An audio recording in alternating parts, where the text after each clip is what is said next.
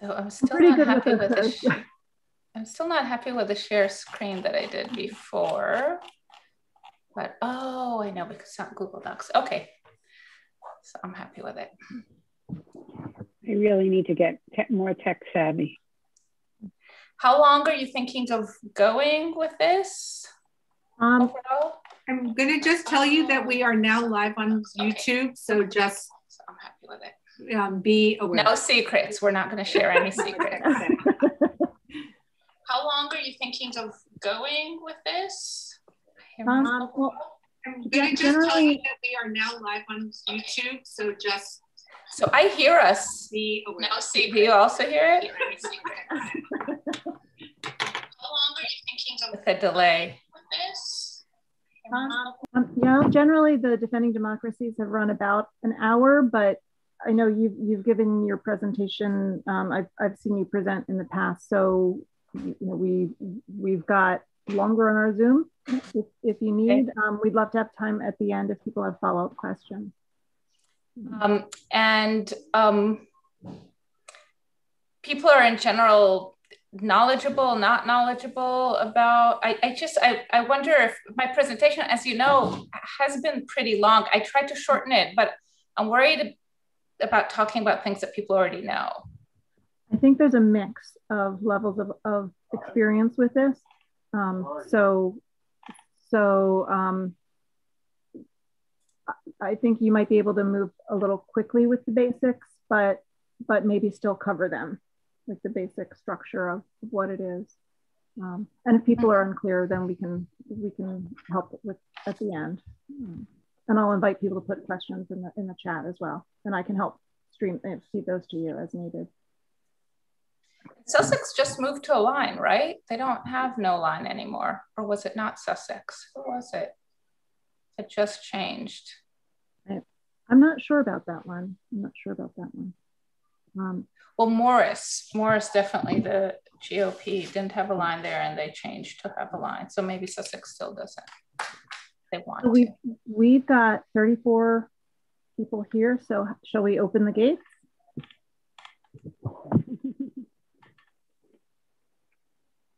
I'm gonna let um, I'll let people in if nobody's opposed. Go for it.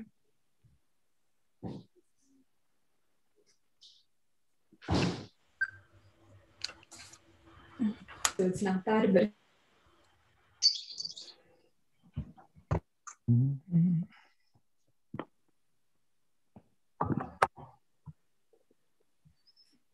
Hi, everyone. Hi. Hi, Leslie.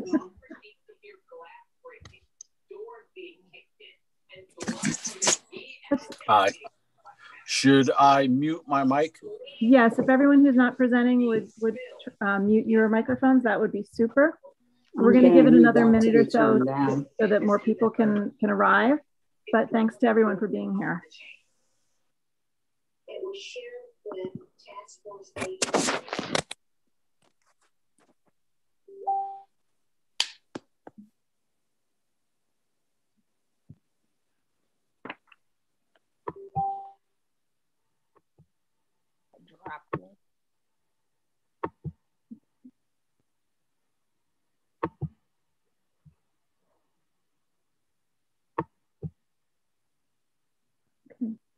Seven So everyone, if you're not presenting, do me a favor and, uh, and shush. Everyone, if you're not a presenter, please hit mute on your on your settings. I believe as the host, you can mute everybody.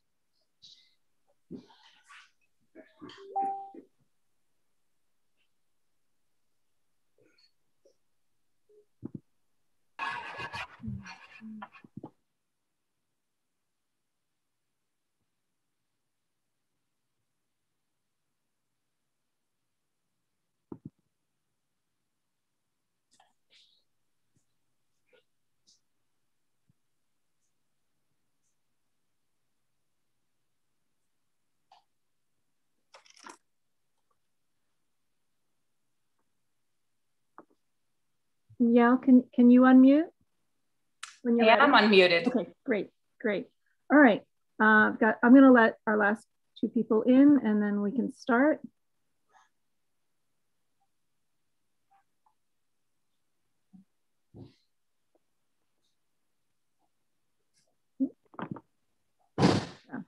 Right. Well, welcome everybody to our, our next Defending Democracy presentation. Uh, everything you ever wanted to know about county committees, but we're afraid to ask.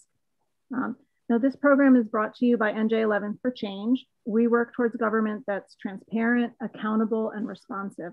And to do that, we urge elected officials to support good policy.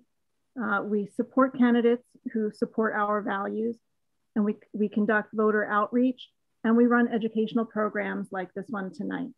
Um, if you share these go goals, uh, I hope that you'll support our mission by visiting www.nj11.org slash donate. Here we go.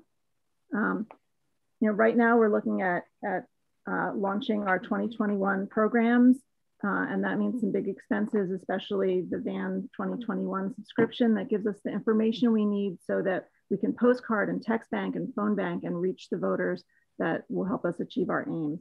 So monthly donations or one-time gifts are, are really much appreciated. Now, speaking of transparency and accountability and, responsibility and responsiveness, we're here tonight to talk about county committees, which are not always known for being any of these things. Um, you know, even though they show up on your ballot, they aren't governing bodies, they're political bodies, um, committees of our political parties. And as such, they have a lot of power. Um, it starts big at national party committees and it comes down small to the, the state uh, New Jersey State Democratic Party, which our former executive director, Saily Avelenda, is now the executive director of for New Jersey, um, down to county level and municipal level. Um, to think about how small they are on a municipal level, I got involved um, and I won my election with one vote, not by one vote, with one vote. I wrote myself in on a blank on a blank spot on when I stood in a in a polling booth, and that was it. Um, so, so it's, there are ways of getting involved that are really kind of micro and it's a great way to get started. Um, now, nobody knows more about how, um, how county committees work than our friends at the Good Government Coalition of New Jersey, which is a statewide organization focused on making changes that will make our government more representative of the will of the people, not political machines, uh, in the interest of, of building a thriving democracy. Um, we're very fortunate tonight to have the president of the Good Government Coalition here, Yael Niv. Yael, Yael is a professor of psychology and neuroscience at Princeton. And in her spare time, she puts her understanding of how people think into, into understanding politics and explaining it to the rest of us. Now, if you have questions over the course of, of uh, her presentation, please put them in the chat and I'll sort through them and hopefully we'll have some time at the end to address them. Uh, but now please join me in welcoming Yael here tonight. Thank you so much. Let me share my screen.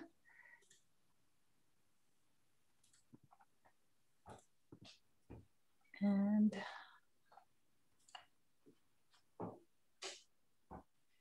okay, you see the slides?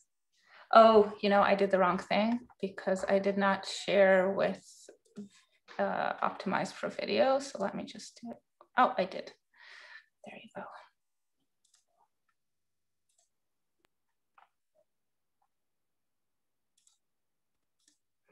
Okay, well, thanks so much for having me. I was so excited when you um, reached out to organize this. Every year we've been doing these county committee trainings and, you know, with COVID and everything going on, we were a little bit late to start. So you jump started the whole, this is our first training this year.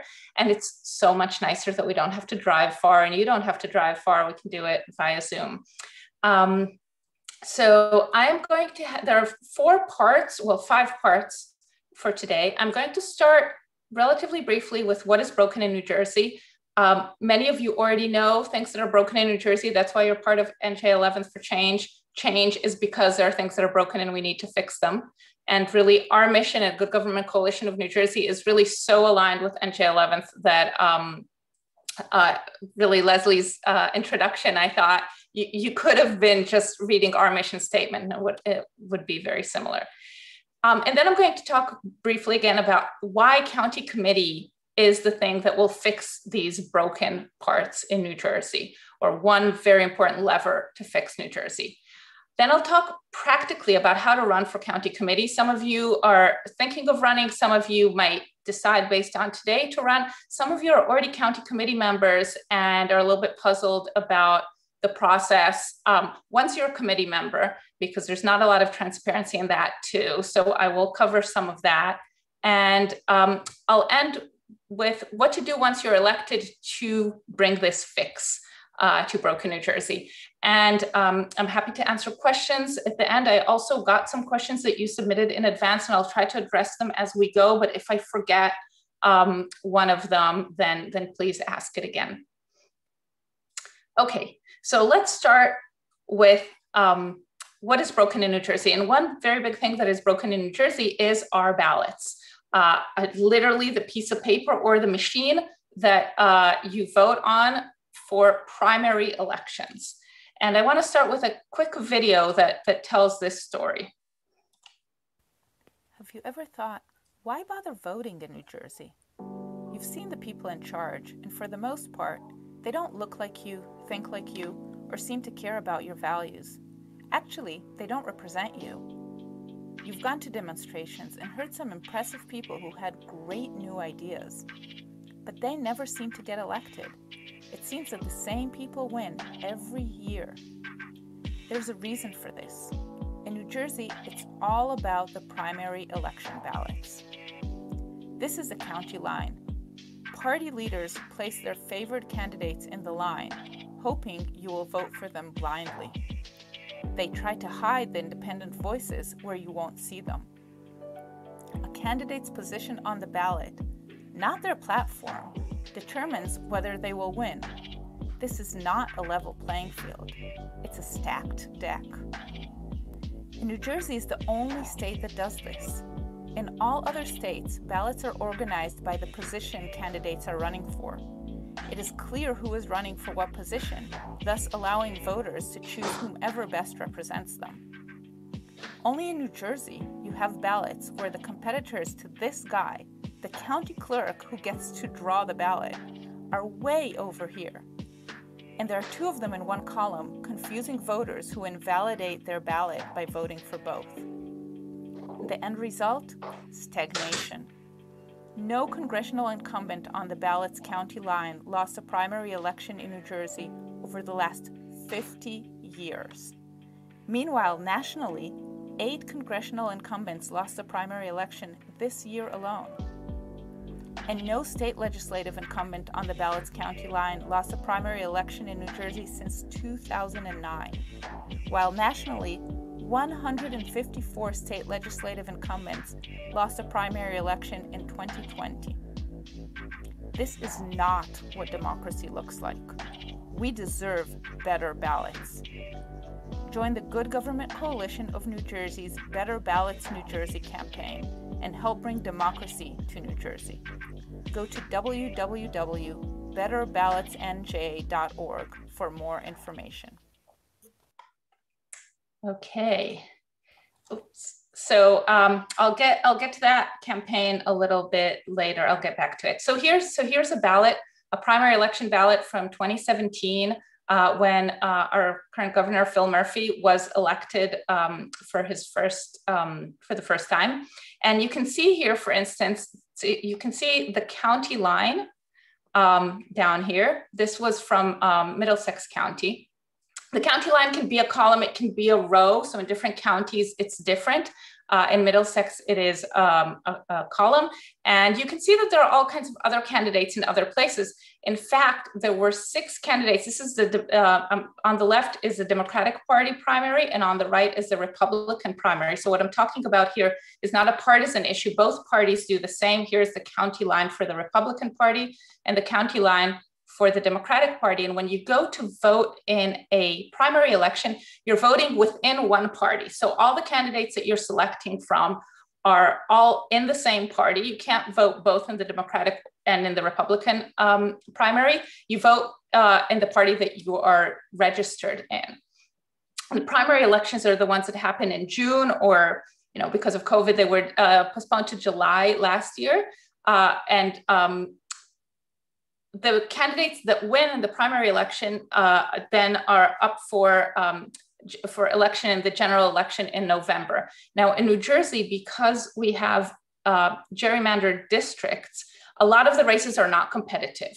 So some places are more Republican, some places are more Democratic, but basically that means that whoever wins the primary election is a shoe in on the general election. So the real election, the real contest for new voices, for new ideas, the real place where you can unseat someone who's not representing you and put someone else instead is the primary election. And many people in New Jersey don't know that. They don't vote in the primary election or they don't think it matters. It is the one that matters. And I just wanted to point out that not only uh, do we have this column and then some people off the column, but all kinds of shenanigans and how ballots are um, put together. So, for instance, in the Democratic race, there were six candidates for governor, and you see that um, John Wisniewski, for some reason, is in a different row than um, all the others.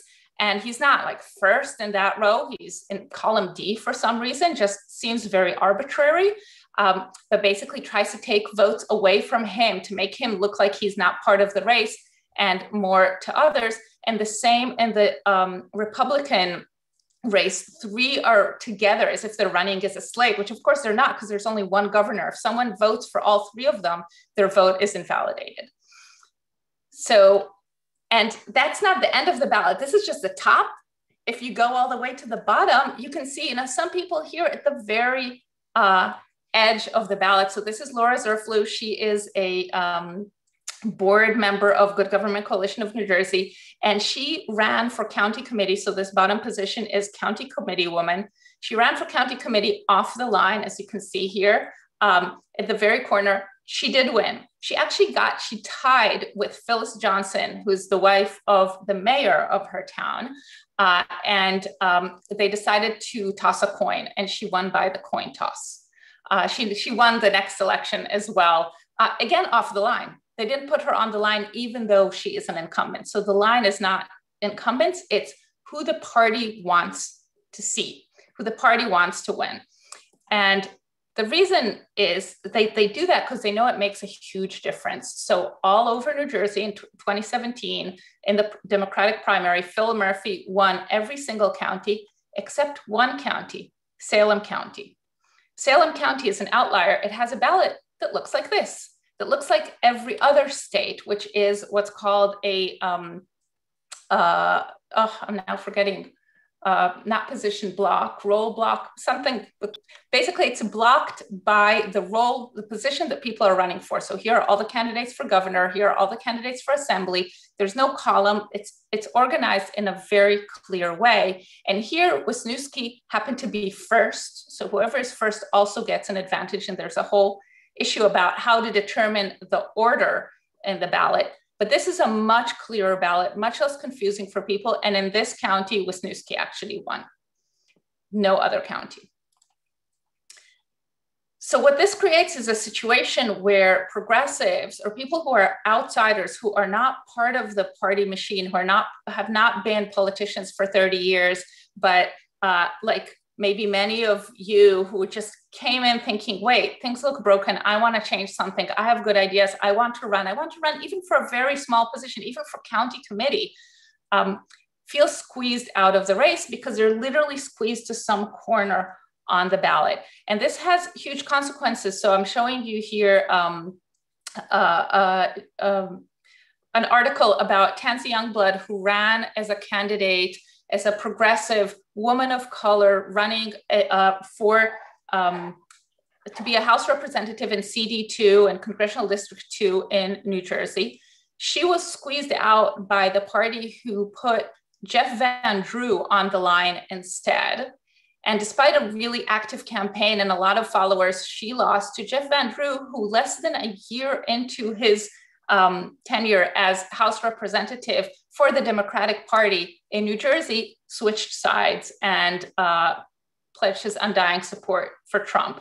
So we can't really say the party is selecting the best people to put them on the line. And this is you know a good cue that we should just follow as voters. The party is selecting people in all kinds of ways not even people who will you know in this case who will even stay in the party once elected and here's another example uh, closer to you uh, in hudson county um, a couple of months ago the freeholders now called uh, county commission commissioners who manage a huge budget and also a lot of decision making at the county level, renewed the ICE contract, uh, um, the prison ICE contract.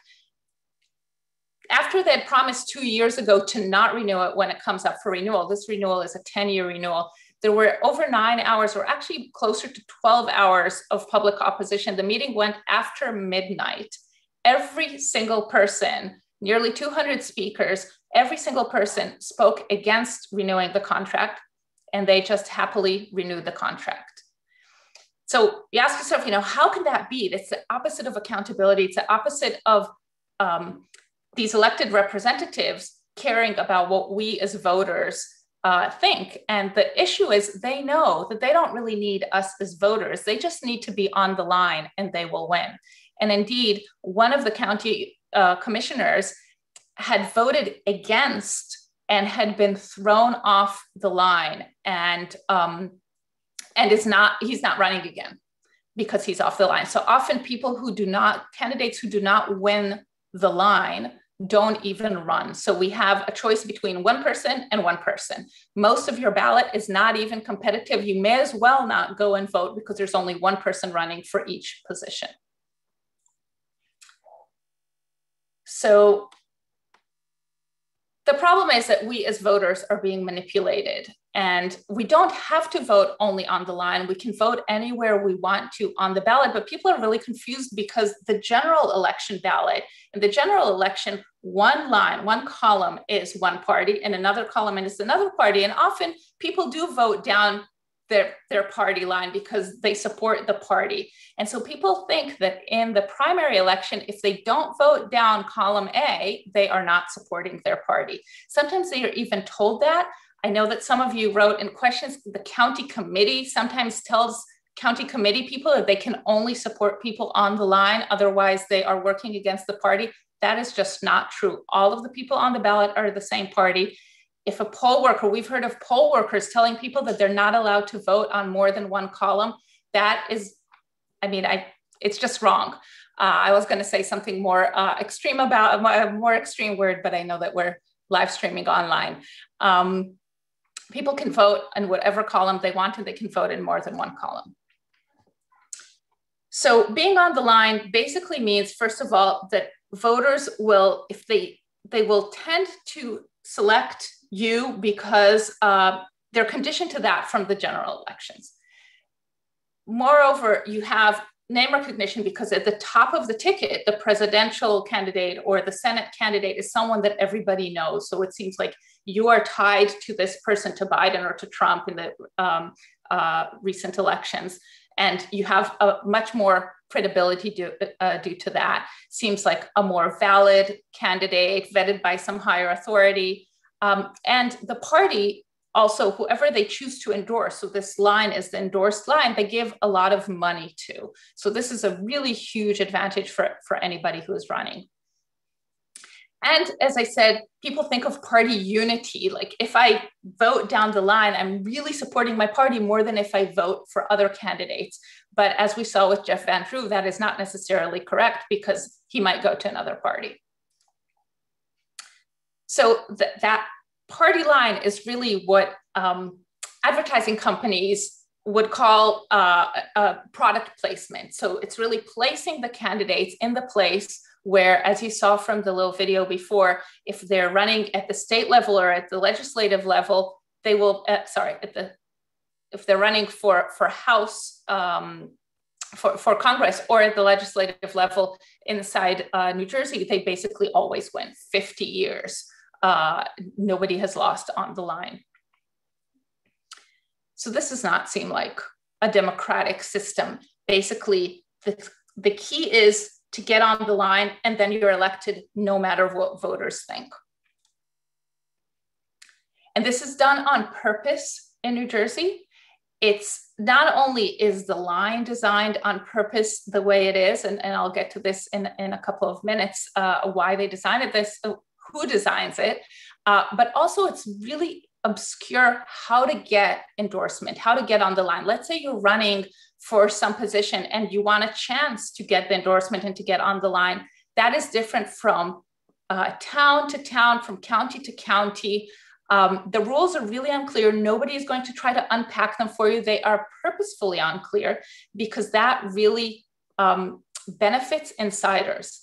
If you're an insider, you'll know the rules. They will tell you everything. If you're an outsider, forget it. They will try to hide it from you so that you miss the deadline, you don't send your, your information in on time, and um, there's no chance that you will get the line.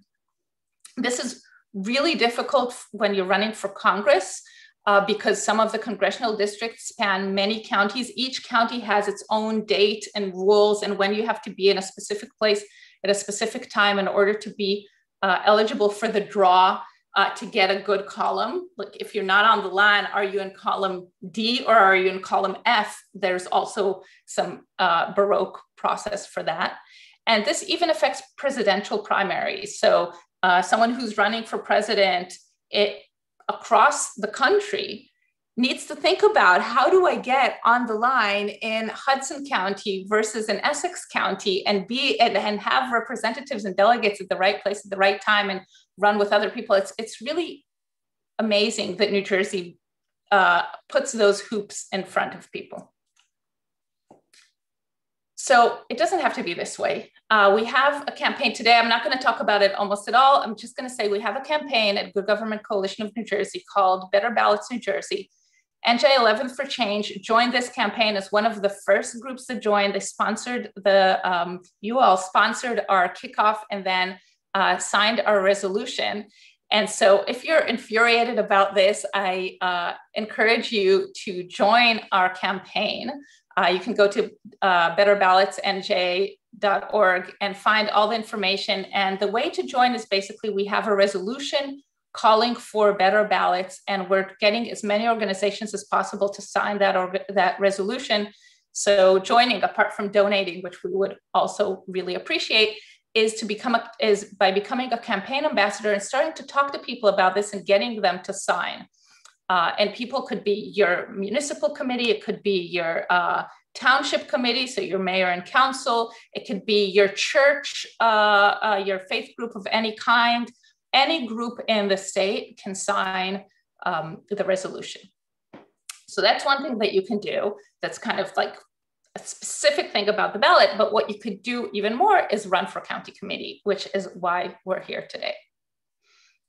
So before I tell you why county committee can fix this, I just wanna say that um, this, the line, is really going to be a really hard thing to fix in New Jersey. Nobody will willingly give their power away, and most sitting legislators got to where they are by using this mechanism. And they're way more afraid of crossing the power brokers than they are afraid of crossing us voters because they don't need voters because they have the line, but they need the power brokers to have the line. So that is where why running for county committee is so important because county committees are the only ones who can really make this mechanism go away, not by legislation, not by our legislators voting to change our ballots, which is, um, as I said, a very hard climb. So, county committee has enormous power. Serving on county committee, on the one hand, is a very small job in the sense that you don't have to do a lot, you don't have to show up every day. This is this is not something that will be a full time job and that you have to uh, quit your current job to do. But you can really take an active role and be an agent of change in your uh, community uh, through this. And I wrote here in response to one of your questions don't let anybody tell you that's not what you were elected for when you go into county committee. So they want, like at every level of government in New Jersey, they want you to come and just say, What do I need to do? Say yes and do it but you can actually affect change and i am on county committee i was elected um, in the last election for the first time and i've been already told your job is to read emails. And I was like, no, I'm sorry. The voters that voted for me, that's not the job they wanted for me. I told them from the start what I would do, and you don't get to tell me what my job is. They can vote me out if they want to. So don't forget that it's an elected position. Your voters get to, uh, your constituents get to tell you what to do, not the power brokers. So the most important, the reason I'm saying county committee is extremely important with respect to the line is that the, one of the roles of county committee is to screen and choose candidates. So to decide who gets endorsed. So each political party has its own county committee. Each political party has also its own primary ballot with its own party line. And the process for choosing who gets the line in each party is up to, it's, it's a county committee uh, process. It changes from place to place. Um, and I'll, I'll give you more detail about this, but I, I want to say kind of upfront, the line might be the bane of your existence on county committee because they might make you run off the line and you're going to want to get rid of the line. So, and, which is all the more reason to get rid of the line if you're running off the line. But as Leslie said, you can run successfully for county committee off the line. The higher the position, the, the harder it is to win off the line. But in, in county committee positions, we can definitely win off the line because, uh, as Leslie said, one vote is sometimes enough, 10 votes are enough. It, these are votes from your neighbors. So you can go and talk to them and say, see me here and like column G on the corner, that's where you vote for me. So how do counties select who gets the line? As I said, it differs from place to place. In some counties, the chair decides, the county chair. So we have 21 counties in New Jersey, 21 county chairs. Uh, some of them decide single handedly who gets the line. And when I say the chair decides, here are some pictures of chairs. So you can see how representative they are of, um, of our state. Uh, a lot of white men. Some counties have conventions. Uh, convention is all county committee members in one place or on one Zoom voting, sometimes with a voice vote, and they have people there noting exactly who's voting against their favorite candidates. They are the chairs, and they will then throw you off the line and try to get you unelected. Very few counties, very few, actually a minority, have an actual secret ballot where you vote, nobody knows what you voted for, and it, it's an actual democratic process. So the first thing that you want to do if you're on county committee is try to make sure that your county has proper uh, conventions and voting by secret ballot. That's not necessarily easy, but that's the first step.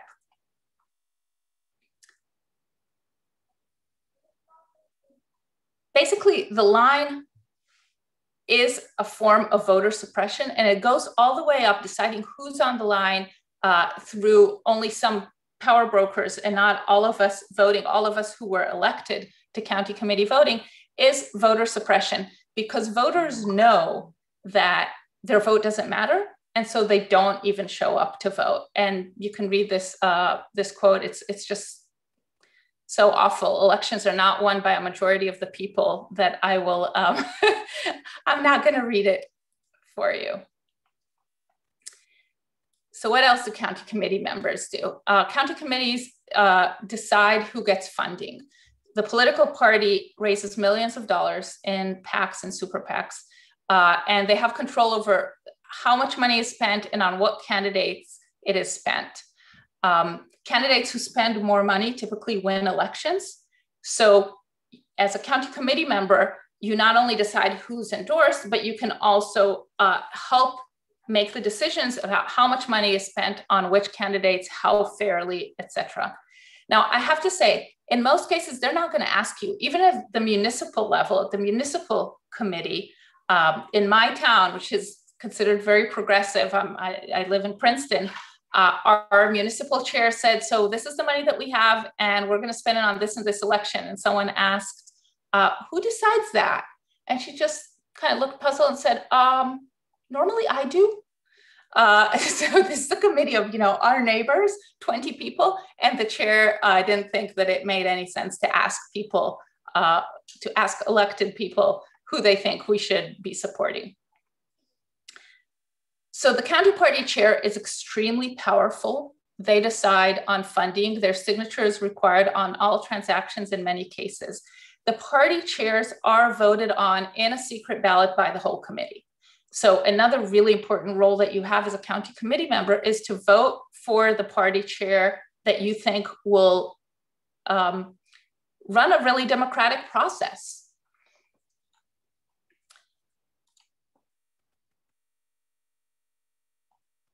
So actually, it's not always by secret ballot.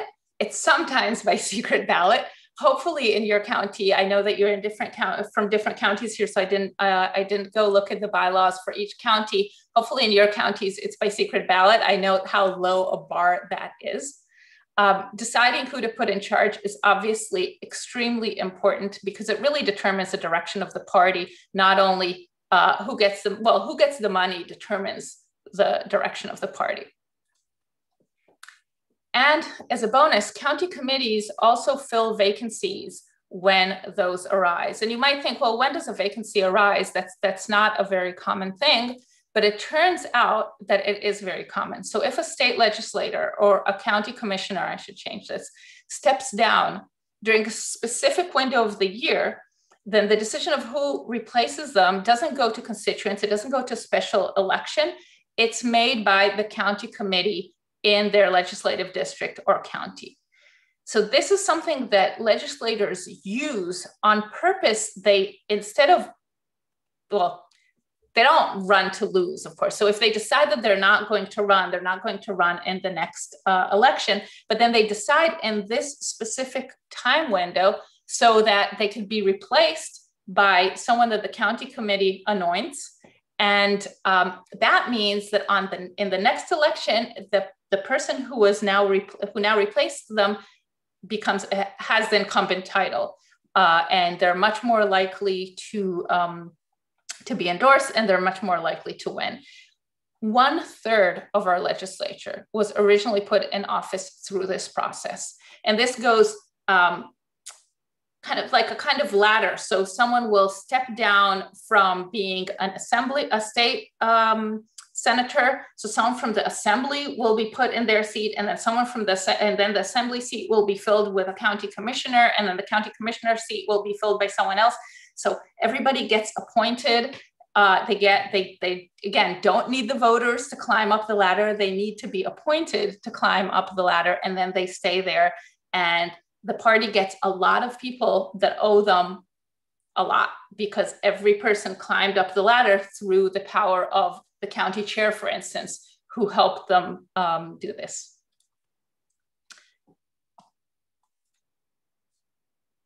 So those are the forms of power that county committee has. The original role of county committee was really boots on the ground. So think days before the internet and before texting. Uh, this was really uh, the local people, the neighborhood um, reach of the party. So um, every local, um, every district, every polling location had its committee people for each of the parties, usually two people. It, uh, historically, it was a man and a woman. Now it doesn't have to be a man and a woman anymore. And those people would basically know what's happening in the neighborhood and bring that up to the party to, to say, you know, these are the issues that we care about. This is what voters think. So, as a co- county committee member, your other role is really that, which is to uh, get out the vote, to canvass before elections, uh, to give your neighbors all the information that they need, including information that they're allowed to vote off the line, et cetera, um, to canvass before the general elections to get out the vote for your specific party, uh, to sit in polling locations and oversee the elections themselves, to be what's called a challenger uh, at the poll.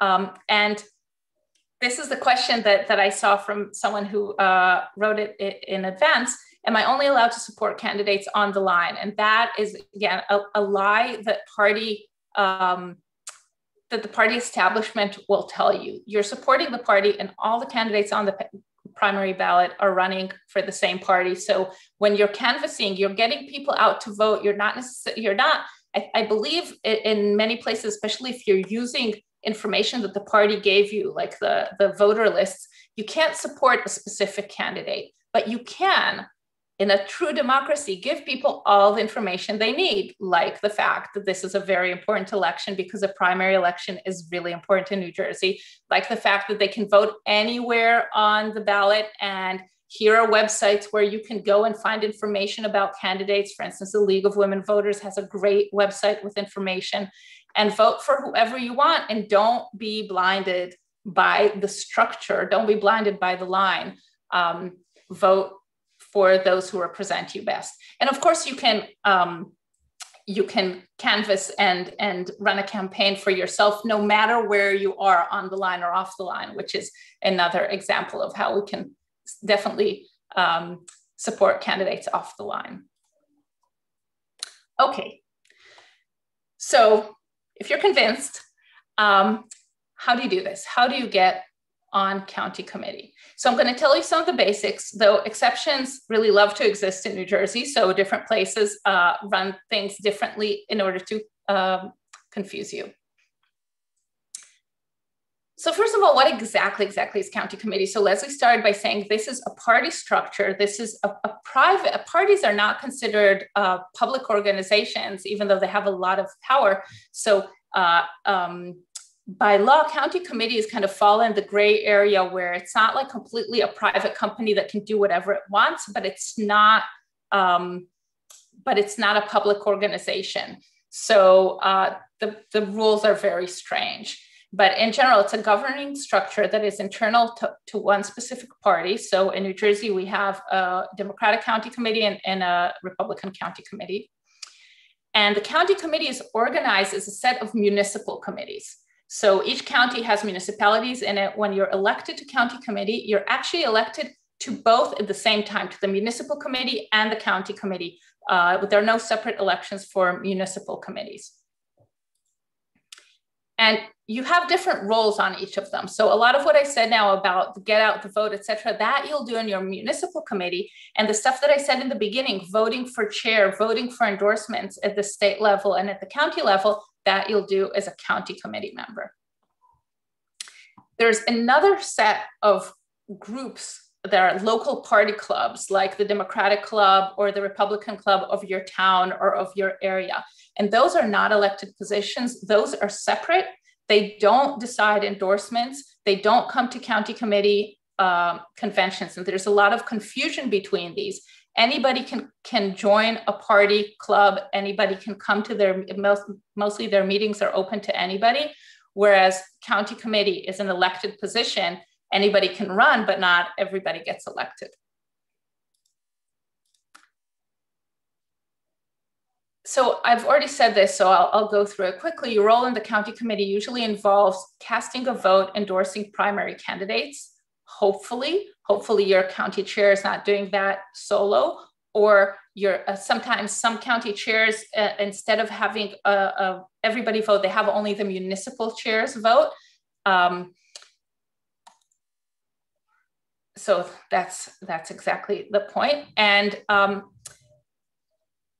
you're voting for endorsing the primary candidates but you also vote for your municipal chair and for your county chair. So if they're the ones uh, casting a vote to endorse primary candidates, then indirectly you are endorsing through choosing your municipal chair and your county chair. Some county committees meet very rarely. So some of you wrote in questions, you've been elected or you're not even sure if you're elected because your county committee doesn't do anything and never communicates with you. So county committees must, at minimum have to meet once after every primary election in which that county committee was elected. So county committee um, uh, positions are usually two-year positions, although in some counties now they've changed it to three-year positions and four-year positions there is a, a, trend of deciding that it's really hard to have elections and costs a lot of money. So let's just do this every four years instead of every two years, which is ridiculous because we have elections anyway, even if we don't um, elect county committee members in that same election. But anyway, um, only in right after the primary election, in which the county committee was elected, the county committee has to meet as a county. And that's called the reorganization meeting and um, you elect the county chair in that meeting.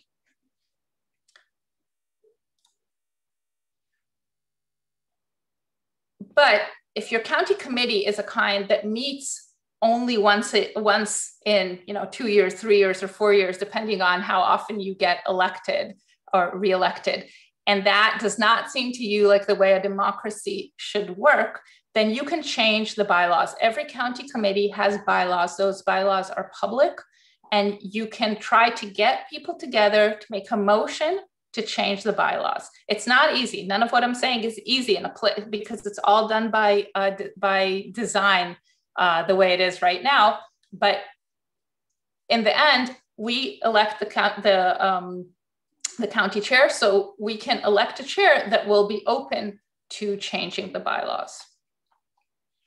So that's at the county level. At the municipal committee, as I said, your elected position also plays, places you on your municipal or township committee where your role there is really to recruit, encourage, educate, promote candidates for your township government. Uh, so to get good people to run and explain the issues to them, and then get people to vote for those great candidates. So get out the vote, uh, work right before the election, uh, and challenge, being challengers of the polls and being boots on the ground for the party. Municipal committees also have fundraisers, so you can participate and, and organize fundraisers to raise money for the for the candidates, uh, for your local candidates, and uh, decide who contributes to uh, which campaigns to contribute to. And of course, you elect your municipal chair as well, which is also an important vote. I know it's going to come up in some other slide, but I want to say it at this point. The municipal chair and the county chair are elected only by the county committee. They are not on a ballot. They are not elected by voters. They're elected by county committee members. They don't have to be, even be on county committee themselves. So many municipal chairs are not an elected county committee member. They were never on a ballot. They were elected by the municipal committee and the same for county committee. Any person who is in the party can run for chair. So you can decide that instead of running for county committee for municipal committee you're going to run for as a municipal chair directly and if you get enough support in your uh, municipal committee you can be their chair uh, without being elected without being elected on on the ballot all the details of what i'm talking about here of how county committee is run are in a title is are in a law called title 19 new jersey you can find it online um, it details what county committees need to do. For instance, that they have to have this reorg meeting uh, right after the election. So here, the annual meeting of each municipal committee should be held on the first Monday fi- following the primary election for the general election at an hour and place to be designated, blah, blah, blah. Now, note here, this is from Title 19. It says that they should have the annual meeting, annual, meaning each year. Many county committees don't have a meeting each year. They have them only when the chair is up for reelection, which means they're already breaking the law. Like from the very start, they don't meet enough times. Um, says here how they elect the municipal the uh, the chairman and um, how they fill vacancies. The, the law is not very detailed. It's not a long uh, bill. You can read it and see that um, there's not a lot said there. And apart from this, counties get a free hand in how they want to run things. How do they run things? They run things according to their bylaws. So every county has its own bylaws. That is in Title 19 that they have to have bylaws and they have to have them um, uh, posted on the county uh, committee website if there is a county committee website. So you can easily Google whatever county you're living in, you know, Essex County, Hudson County, committee bylaws and you'll find the county bylaws. We found, I think, all 21 of them online, so they are all there. Municipal committees also might have bylaws, should have bylaws. If your municipal committee doesn't have bylaws, you can draft bylaws and suggest uh, a vote on them because then they are binding. And they can detail things like if the county, com- if the municipal chair steps down, is there an election of the new chair or is the vice chair automatically made the new chair, et cetera. All these different um, uh, the, the rules that will govern how your small committee will work. To run for county committee, all you have to do is be an adult, so be 18 years old or younger, or, older, sorry. I, I, I, saw this, it confused me. You don't have to be exactly 18 years old. I am not. Uh, and you have to be a registered member of the party that you are running in and a resident in the district that you're running to represent. So you're representing a specific district. So in some counties, that district is the whole municipality, the whole town. So they, they're called at-large candidates. So let's say um, Collingswood in South Jersey. So this is mostly in South Jersey. I think maybe only in South Jersey in Camden. Uh, Collingswood has 18 uh, uh, county committee members because they have nine voting districts, but all 18 run as one slate. So there, if you're running in one of these places, you can't just run on your own. You have to bring a slate of as many people as you need in order to appear on the ballot as a whole group. But in most counties, that is not the case. In most places, uh, every polling district, so every literal place where people are going to vote, has two representatives. Uh, these used to be a man and a woman. Now that there was uh, um, there was a lawsuit and a ruling that they do not have to be a man and a woman. They could be a man and a man. They could be a woman and a woman. They can be a transgender person. They could be uh, any any gender uh, um, or, or that that people want to define themselves as. So you want to run. So the first step is to find out what district, what polling district you live in, and um, whether and, and when is your next election. So only five counties. So I'm going to tell you all of this and then I'm going to say that all of this has recently changed. But it used to be that it was a two year term everywhere and five counties uh, had elections in odd years, like this year, 2021, and the rest were in even years. And um, this has changed recently because uh, under the guise of COVID, many counties have changed, have postponed their elections. So Atlantic County last year postponed to this year. Middlesex County uh, was supposed to have an election this year, but last year already, just in case, they postponed their election by two whole years. So now they have four year terms and they made this permanent. And just recently, uh, Union County did the same thing, uh, extended the, the term of the current people in office, which is extremely undemocratic, to a four year term, uh, postponing their elections from this year to um, 2023. So find out if there are elections in your county. Might be very rare, maybe only well, there are a few counties. So Camden, Sussex, and Warren for sure, but I think there are a few more that have elections this year. And you can call your town clerk or your uh, municipal committee chairman or chairwoman to find that out. Anyway, you want to call your town clerk because you want to know whether the seat that you are running for is filled or empty. So many seats in county committee are empty. It might be that in your polling district, in your neighborhood, there's only one person on county committee instead of two or zero people on county committee.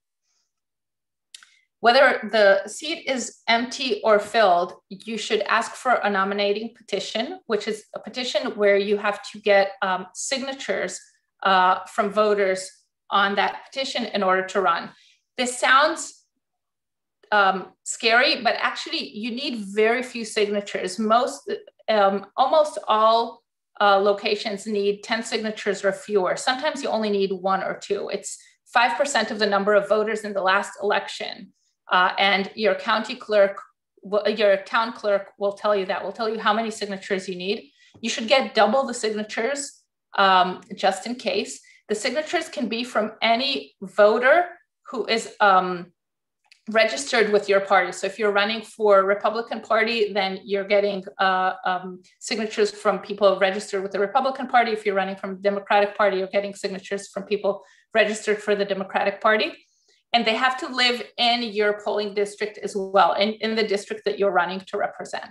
So that means you just go talk to a few of your neighbors and um, get their signature. You can also get a list of who's registered, but I think at this point they might not give you that list. So you just uh, go ask some friends, and many of them uh, turn out to be registered. Um, one thing that I wanted to say is now due to COVID, there uh, are changes. Last year, uh, the signatures could be obtained online.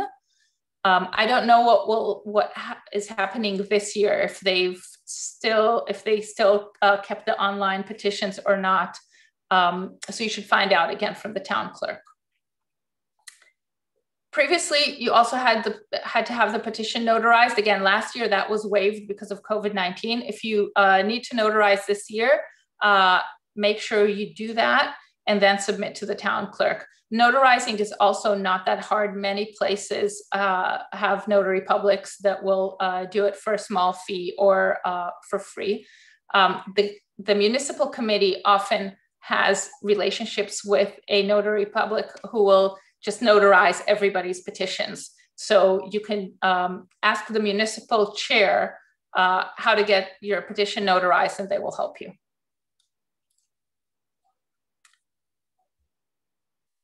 Okay, so there are two situations. Either the seat that you're running for is vacant or it's full. So you ask your municipal chair, uh, your municipal clerk or your municipal chair whether the seat is full or empty. I'll start with what happens if it's uh, filled and then talk about what happens if it's empty. Uh, if it's filled, then basically you are going to challenge the person who is now a county committee member. Now you might be surprised, but many people are just county committee members because someone asked them, can you please do this? They are not very involved. They only come to that one meeting every three years, if at all, because they don't have to. And they really don't do much. Um, so they would be happy to step down if you if you ask them to. So first approach the person who's currently uh, the committee person and say, I'm really interested in local government and I'm, I'm I want to run. Are you planning to run uh, in the next election? And they might say, you know what?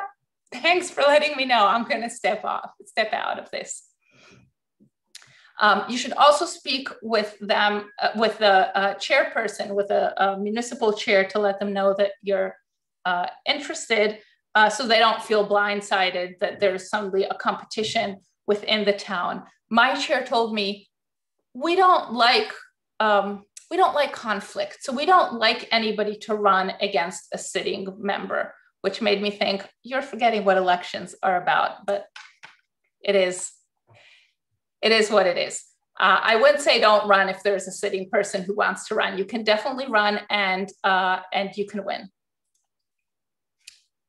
but many seats are vacant. So if the seat is vacant, then um, one important thing, and this is especially if you don't have elections this year or you know in the next three years because your county committee just postponed, just uh, extended their tenure by by two years, um, you still can get seated on county committee without an election if there's a vacancy. So Title 19 says that if there's a vacancy, the committee uh, can and someone wants to fill that vacancy, the committee can appoint them um, with a with a regular vote with a quorum of the members. So when I wanted to run for county committee, my uh, uh, municipal um, chair immediately said, "Oh, that's great.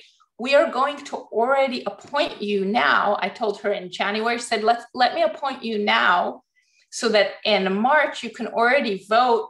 For the endorsements for the primary election. So although I was only on the ballot for the first time in June, I already was a municipal committee member from February and was able to vote on endorsements. And she did that. She actually asked us to fill all the empty seats before the endorsement. So you can also find out what other seats are empty and get your friends to come with you and um, all get appointed.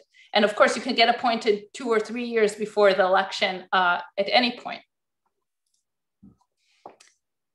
If there's no vacancy, you can't get appointed for sure, but you can start building your case to win next time. So make yourself a good candidate, volunteer, get to know everybody, uh, let them know you're really committed to the party and, and that you're really interested in this role. Of course, if you're challenging somebody, you're challenging a current committee person, you need to run a campaign. This is not a statewide campaign or even a townwide campaign. This is literally your neighborhood. You can get a walking list of the registered voters in your district. You'll get that before the election. Um, you can, if they're nice and there's somebody to talk to, you can you can try to get it in electronic format uh, as an Excel spreadsheet, so you can organize it in ways that will save you time. Um, you can request them to be sorted by who voted in the last primary election, and you can get a map of your district that shows what streets are in your polling district. And then you need to uh, do the canvassing. So uh, it's not a, it's not a lot of canvassing, and you know, ten votes are sometimes all you need, but you never know, and especially if you're running against somebody, you want to uh, you want to do the work of going to talk to your neighbors, maybe two hours every Sunday, um, social distancing and masks. Do it in a safe way, um, but uh, use your walking list and talk to your neighbors. Introduce yourself. Tell them why you're running explain what your role will be. Most of them, they've been voting blindly for whoever is running. They have no idea what that role is. So this is a good chance also to already educate voters, explain to them the importance of primary um, elections, etc. Um, ask about their concerns. Obviously, don't promise to fix things because as a county committee member, your power is limited. You can't, you know, if they don't like the fact that there is no uh, stop sign at the end of the street, that will not be part of your uh, part of something that you can do. But you can, um, as someone who's involved, you can then talk to the mayor, talk to the council, uh, ha- help your neighbors talk to the mayor and council, and realize that everybody is very accessible in a small town, and maybe you can help them affect the change that they want. But don't promise that in advance. And obviously, like in any canvassing, don't leave anything in anybody's mailbox. a week before the election, as always, and again, this might change if we have a all vote by mail election, you'll have to do it earlier. Um, you can revisit each door that you had knocked on before and really ask them, can I count on your support? It's really embarrassing. I felt really bad doing that. I don't know why. I really feel like, you know, asking for support for myself. Um, but that's what you need to do. Um, and especially take the copy of the sample ballot that you got that's similar to the ballots that they got in your polling district and show them where you appear and talk to them again about how they don't have to vote on the line especially if you're off the line and and extend that to the rest of the ballot saying you know all of these people are equally valid and equally in the same party.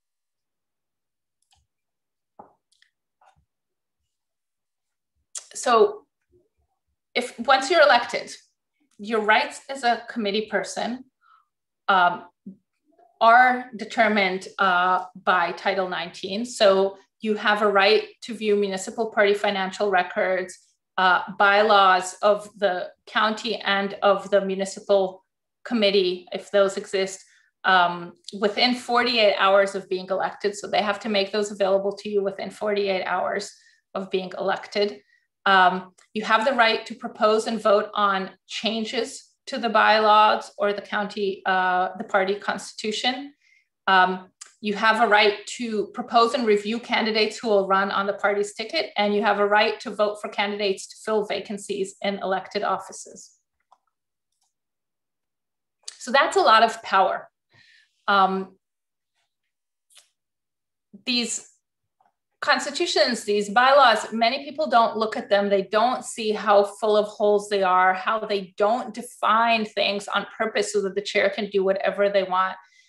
Um, but if you think that the process for making decisions in your county committee is not democratic, then you should make a motion to vote for changes of the bylaws, rally people, talk to them, talk to them behind the scenes, get support, and, and create a more democratic process. And I think part of this is again it's a nonpartisan issue and it's not i'm against this candidate i'm for this candidate. This is we are all for democracy because we want new jersey to be a democracy. So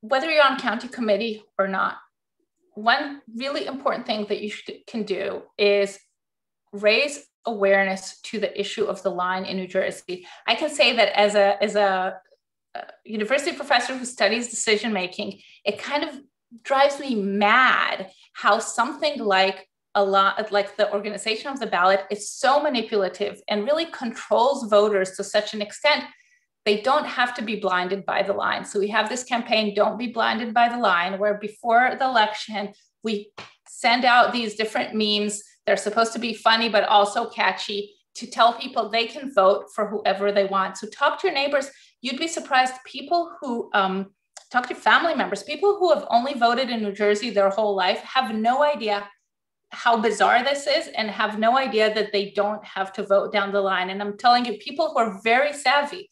I have a friend who is uh, who was a county committee member and then elected for council and still didn't know about the line, even though she had been elected herself multiple times. So raise awareness, work to get rid of the line altogether in your municipal committee. So in Princeton Township, in my town, we don't have, we don't put anybody off the line even though there's a line on the ballot, if we have eight candidates for two positions, for two council positions, we'll put all of them on the line. We had to fight for this at the county level, but we won that fight.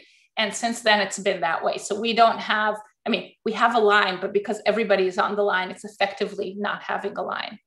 And we can try to change that in the whole count, in the whole county and in the whole state um, in different ways. So talk to fellow county committee members about how bad the line is, show them alternate ballots, show them ballots from anywhere else in the country to show them how this is like really easy, ADA compliant, et cetera. And our ballot is such a mess. Um, vote out chairs who won't give power to voters, support candidates for county clerk. It's a county clerk who actually, which is an elected position, county clerks are the ones who actually draw the ballots. So you can support, there are county clerks who run on a platform of I will get rid of the line, support them, get your neighbors to support them. And as I mentioned in the beginning, you can join the Better Ballots New Jersey campaign uh, to get uh, your own municipal committee to adopt the resolution to create a better ballot, which is the resolution just says we support this. It doesn't mean that they themselves tomorrow need to change their ballot because they don't have the, the municipal committee doesn't have that power. But the more municipal committees in a county that sign this resolution, the stronger our power when we go to the county chair and say, look, half of your county wants to change this. How about bringing this up for a vote in the county, um, the at, at the county level, and maybe we can get that change county by county, which is only 21 counties, so it's doable. Um, don't know if I want to go through this because we're almost done. I want to answer your questions. Um, so yeah, so let's just um, finish here. I want to say if you want to uh, continue being in touch with the Good Government Coalition of New Jersey, so we our main focus is on accountability, transparency, and having a government that is as run as, as democratically as possible in the sense that power goes to voters and not to uh, party machines, not to a few power brokers, not to county chairs, uh, and even not to the governor. So the governor in New Jersey is the strongest governor in the country because of how, um, because of the powers that, that laws that the New Jersey Constitution gives him. And we would like that weakened as well because uh, power should be with voters and, and with the with um, the different parts of government and not all hoarded by very few people. So to join us in this fight, one thing that you can do is follow us on Facebook. You can follow us on Twitter. Um, you can go to www.ggcnj.org, our website, and browse the information there. Before elections, we have candidate databases there with information about candidates. Uh, we endorse. Um, we have information about how, what are different positions, how to run for those positions. Uh, a lot of information on that website. Uh, there's a form there to join our call to action list. I can say that we do not use that list a lot. We're not going to spam you every week. Now call for this, now call for that. But once in a while, there's a good government bill up for uh, voting, or there's a county committee that wants to postpone their elections by 15 years because they've decided that elections are bothersome. And then we will use our call to action list and say, call your county chair or call your legislator uh, and, and here is the script. Um, if you're running for county committee, uh, if you're already on county committee, if you're thinking about running for county committee and you liked what I was talking about and think that this is, you know, this is something that you would like to support and you'd like to talk to like-minded people who are on county committee or thinking about running for county committee, we have a Facebook group called New Jersey Progressive County Committee Caucus, uh, or PCCC or P-TRIP for short. It is a secret Facebook group, so you can't just join it, but um, you can email me uh, at um, contact at ggcnj.org, or you can email Leslie or Mara or Stacy, and we will put you on that group. Um, and if you, uh, NJ 11th are already part of the Good Government Coalition of New Jersey, I believe. I'm not sure something that. I'm thinking about it uh, because apart from signing our resolution, we are a coalition of groups. So if you're in a group, running a group, uh, uh, consider joining the coalition. It's uh, we the, the, the, fees are zero dollars. Uh, it's basically um, uh, getting on our website uh, as one of the as one of the coalition members and and being on our um, on our mailing list when things happen. That's it. I am happy to answer questions. I see that there are lots and lots of questions uh, in the chat. So maybe I will stop sharing so I can see you all. Uh, yeah, I've been I've been jotting down some questions. Um, some of the questions have been answered within the chat by by other participants who who are familiar with them. But um, but I'd like to run through the the list of questions that that didn't have answers right off the bat. Absolutely. Um, since we were just talking about how to run, um, we're hearing a lot of differences from members about what's necessary for a petition. You know, we've, we've got people who, who have been told that they need 10 signatures. We have people from another county who've been told they need 10% of the voting of the, of the number of people that are within their district at their polling place is that completely variable by county or if you're in a county that it's consistent throughout the state? As far as i know it's 5% of the people who voted in the last election from your polling location. So not all the people who live eh, there it's those who are registered and voted. So 5% of that and your municipal chair your not municipal chair your municipal clerk it's their job to tell you the specific number. You don't have to calculate it. They they need to tell you you need eight signatures, you need 16 signatures, you need three. And I said 16, but it almost never happens that you need more than 10. So the answer should be coming from your municipal clerk, the government employee, the municipal clerk, not the, the chair of the municipal committee. So yes, the exactly. chair of the municipal party committee is giving you an answer that sounds fishy, you should go to your municipal clerk who will yes. give you a firm number. For, you don't have to do the math, it's a number.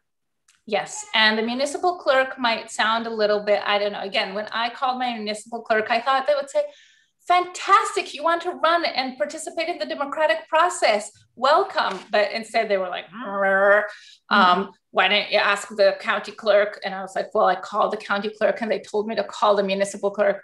Okay, you need, you know, six uh, i can't remember. I needed i needed eight i think. You need eight signatures. And i thought wow that was a, a, warm welcome. But then without me even asking i got the petition in the mail with all kinds of information. So this person might sound really grumpy but will actually do their job. They are paid to do that job. Okay. We have we have one member who who was told by their municipal clerk in union city um, that it's 10% of the registered voters in the last general election where the legislature was elected. Not for county committee, as far as I know. Um, that might be for running for legis- uh, uh for a legislative position. Um, so for different for different positions, there are different minimums, of course. Mm-hmm.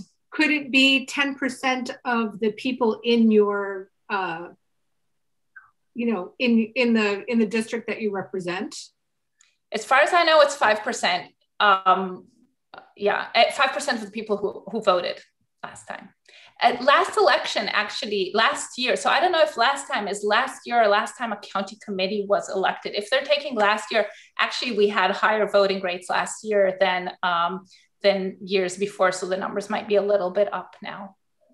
If someone if someone is getting an answer that doesn't oh that was changed recently to ten percent, um, maybe. Um, hmm what I would say is don't fight with them over this. Get as many signatures as they tell you to get. Um, you can, and, and it has happened that people have taken them to court over this because uh, in many places, well, many places in South Jersey, in particular, they will do anything to get you to not be on the ballot, even at the lowest level. So they will invalidate your signatures. They'll say that, you know, you sent it five minutes after the deadline, all kinds of things like that. And they have been taken to court. And um, but then by the time you win that, it's too late and all kinds of stuff. So they they will try in some places. In some places they'll be nice and friendly. In some places they will try to stop you. Don't fight them over this get the number of signatures, get more than they said, so that if they invalidate some of them, you still have enough. Um, ballot access, so getting on the ballot in New Jersey, is such an unreasonably tough climb that really shows us that this is not democracy. Right. So if if someone has um, is, is getting conflicting information, um, there isn't some higher authority to appeal to other than taking them to court? Um, I don't know. I, I the truth is I, I don't I, I don't know the answer to this. You can go to the county clerk and see what the county clerk says. Um, you can read the the bylaws. I mean, th- these things will be written somewhere. They're not made up. Uh, you can read Title 19. You can say to them, "I just read Title 19, and it says blah blah blah." Um, being knowledgeable about stuff is really important here because they will try to just bullshit you. Um, what's the easiest way to get a list of other county committee members in your in your district or in your in your county? Um, those lists are not always public, but there is an excellent website uh, that I can also write here in the chat, Blue Compass. Um, uh, I'm writing it incorrectly. I believe it's .org. Um, and the, um, this is a, um, a website run by uh, Giose, who is um, really into scraping all this information and making it available. Let me just check that that's the right. It's not the most, yes, it is the, the right address. It's not the most you know flashy user friendly site. He's into data not into like uh, uh, uh, graphical user experience uh, on the website but you can go there to um, democratic party information on top. Uh, uh, he doesn't he doesn't have gop here. It's all the democratic party here. That's why it's blue compass. And go to county committees and search with you will see all the people in the county committee. You can, uh, what year is the next election, I think.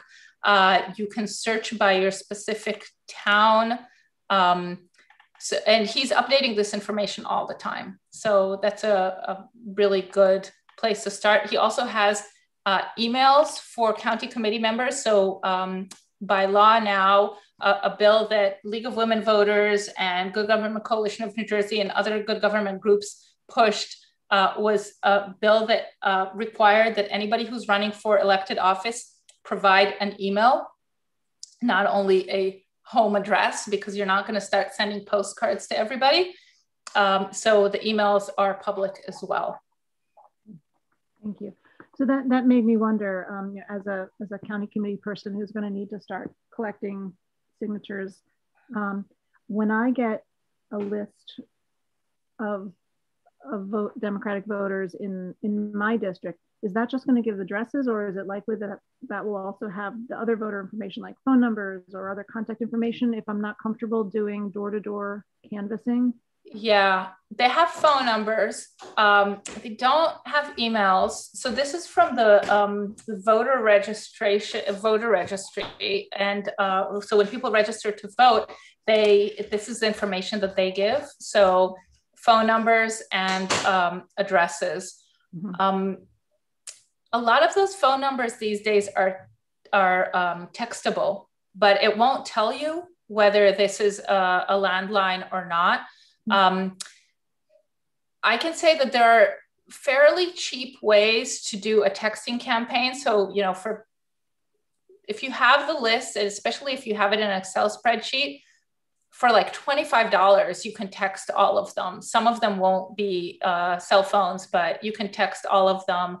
Um, uh, Herb Terboose has a company that then he's he's a progressive guy. He really wants to help um, people who are progressives who are running for office. So he can, you know, give you a, a cheap deal. Um, I'm I'm going to try to get my whole municipal committee to use texting because calling. I I I, I did some phone calls. Um, I didn't get very far. It just takes a really long time. Most people are not at home. Lots of numbers are wrong. You can send texts to all of them in half an hour. And now some will reply back and some won't. Um, you can phone, you, you can uh, you can do some phone calls if you want to as well, but texting is really, really easy. And, and I think the, the party should try to adopt it as much as possible.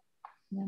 I think a lot of a lot of uh, New Jersey 11 people have experience in texting or in other in other contexts and know how how easy it is to to do. Though, um, you know, so not not all people read these texts, but I think they're less invasive than phone calls. Uh, and if you write, you know, hi, this is Leslie, I'm your neighbor. Like when I called people, I would say, this is Yael, your neighbor from Franklin Avenue. Like, you know, this is not a, this is not a robocall. This is like literally me, um, because I don't know most people in my neighborhood. But they, but people were pretty nice. Yeah, and I think your your point about this being people in your neighborhood is really interesting because it's the people who vote at exactly the same desk where you vote when you when you show up. So it really is a small community. Um, one of my favorite jobs as a member of the county committee is being a poll challenger and getting to kind of lurk behind the, the poll workers and keep an, an, ear on things and make sure that things are going the way they're they're supposed to go. Um, but it also, you know, a nice thing is that I recognize half the people who come in to vote, and and and it's you know it's it's neighbors. So those are the people that I'll be talking to to sign a petition or to ask them if they'll vote for me when I show up on on the ballot. So it really is this very small community based thing to do. It's as far as running for office goes, it's about as as you know small and easy as as it comes. Um, one other thing that you can do to reach more people, again, given that this is very local, if you have a local um, newspaper, like a town newspaper, or sometimes some towns have a blog or a, a uh, something online, you can write a letter to the editor. So I wrote a letter to the, the editor explaining um, why county, uh, uh, uh, saying to people, vote for county committee. People like think about county committee. County committee is really important because they determine the structure of the ballot and like explaining you know this is it's a very short letter to the editor. So i explained as best i could the issues of uh, of the line in a, in a letter. And also this was last year where we had these very confusing vote by mail election. So I also explained that. Um, just you know, our, our role is to get is to get information to our neighbors. Hi, Justin. I just see Justin there. He's also a um, board member in Good Government Coalition of New Jersey. I see a question that people ask, what did I say? What was I talking about with $25 to getting the, the phone numbers? That's not to get the phone numbers. That's if you got the phone numbers from your uh, municipal chair or from your county chair, it's, and then and you can feed them into the texting system. It doesn't cost, it costs, you know, pennies per text. But to get the phone numbers, you're not going to get them from, um, you're not going to get them for $25, but you should be getting them for free, basically, uh, when you're running for county committee. Uh, Joyce has asked, how can we get access to VAN if the county committee chair will not grant it, since that's a, a, much easier way to track and contact your neighbors? Are they under an obligation to, to grant you access to VAN if you are running? I don't think they are. I think if you are already an elected member, then even then they might not be under obligation to you. I mean, they, yeah, unfortunately. But what you can get is a is a list of the the registered voters in your party in your district yes. from yes. From, from the municipal clerk. The municipal clerk of yeah, your this, town. Yes. Okay. Thank you. Thank you. So another another question that came up um, was whether county committees are subject to OPRA. Um, I actually don't know the answer to this. Justin, do you know the answer? Uh, my understanding is that organizationally, yes, but individually as members, no, because you're party affiliated, not technically municipally um, elected. But don't quote me on that. Not a lawyer, not a scholar. That's my that's my understanding. That's that's a kind of twilight zone where county committees are private organizations. They're they're you know they belong to the party. They don't belong to the people in some sense. And and I wasn't clear about one thing, which is um, when you're running for well, I may may have not been clear about many things, but when you're running for county committee, you only run in the primary election. So there's no election of county committee in the general election. That makes sense. Um, Kristen pointed out um, for people who are who want need to get signatures for petition um, that if all you need to get is you know 25 signatures, you can actually just plant yourself outside, out front, somewhere public in your neighborhood, and that can be an easy way of getting signatures very quickly in a, in a couple of nice days um, when the when the weather is right. Um, another question that came up um, that I spotted is uh, is if you can give us an update on the status of the lawsuit that's challenging the line. And while you answer that, um, I've gotten the questions that I've spotted. If anyone answered something that didn't get answered either in the chat or or that I haven't brought up to Yael yet, um, if you can type it again, just so we make sure not to not to miss it. So regarding the lawsuit, so there is a lawsuit against several county clerks um, uh, claiming that um, that the county line is not is unconstitutional. Mm-hmm. Um, that lawsuit is is moving forward. It will take years. This is not a very fast process. It's in the Supreme Court, the New Jersey Supreme Court, and um, I think we're you know we'll know in a couple of years what came out of that. Um, so it, it's great that that lawsuit has been um, has been launched, but uh, it's not going to help us right now. Um, I, wa- I want to say that this whole fight against the line and changing the party, whether fr- changing both parties, whether from within through county committee, whether from uh, uh, grassroots pressure through uh, the uh, the Better Ballots New Jersey resolution, whether through a lawsuit, it is all um, a long game.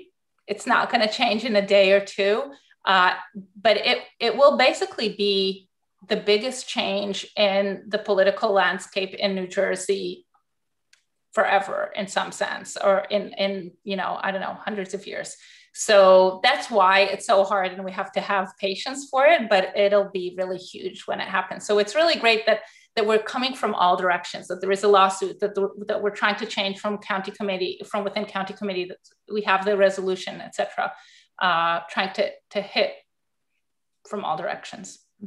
This is really thought provoking because it's you know there there are so many facets to this. There's the there's the political maneuvering of the county committees, but there's also sort of the the the fundamental work of being a member of a, of a political party that is the responsibility of county committee people. Like one of the things that, you know, or some of the things that, um, that I've been, you know, responsible for doing as a county committee person. I mentioned being a, a poll challenger, but there's also, um, you know, canvassing and getting out the vote with the people who live in the, you know, the blocks that surround you um, and using your, your knowledge, your boots on the ground to get to get the vote out in the general election as well as in in the in the primary.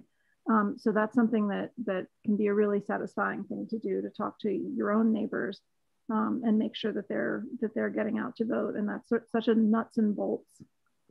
And, and I want to say that you know all politics are local politics. Mm-hmm. And once you're in county committee and you start hearing what's going on and talking to people more and finding out what bothers them, then maybe the next time there is a council seat that's uh, opening in your in your town, you will run for that. You you you realize that government at the municipal level is in many cases really really local. These are the council members and the and the mayor. So my my uh, our mayor just changed in Princeton, but my previous mayor I had had like Passover at her house multiple times before she became mayor. Uh, the, it's all very, very small, but with a lot of power and a lot of important decisions that the mayor and council um, make. So it could be even you're not, you know, you're not planning to be a politician, but you're here because you want to change the world, at least a little bit. And when you start that change, you'll see that there are levers, that there are local levers that you can use that you can um, influence even if you don't run for council if you if you just go to council meetings and and make statements there if you sit there these are meetings that are open to the public that usually have nobody or like you know the same four people complaining every time. Bring five people from another direction so that they can hear some other voices and suddenly there will be change in your town. And we've done that in my town i'm part of a group called um, princeton progressive action and in four years, we're amazed at how much we've managed to do just by a few people, like three or four people showing up to um, council meetings. So I think apart from like the big thing that we want to we want to get democracy in New Jersey, we also want to make our towns inclusive and have affordable housing and have uh, and uh, and have a better uh, you know, be greener and, and more environmental friend, environmentally uh, sustainable, and, and all these different things that we want to do in our very local government. And the county's not going to do that for us, and the state's not going to do that for us, and definitely Washington, D.C. is not going to do that for us. That is totally within our towns and with our neighbors. And, and this is a really great way to, to start affecting change in, in multiple ways. Thank you very much. Well, we're we're at 8:30 at this point. I appreciate everybody sticking around for for learning all of this. Um, hold on, let me see the another post came in. Let me make sure. It's oh, it was just a thank you. Excellent, thank you. Um, but thank you to everybody for for coming. Yael, thank you so much for coming and sharing your expertise and your experience with all of this.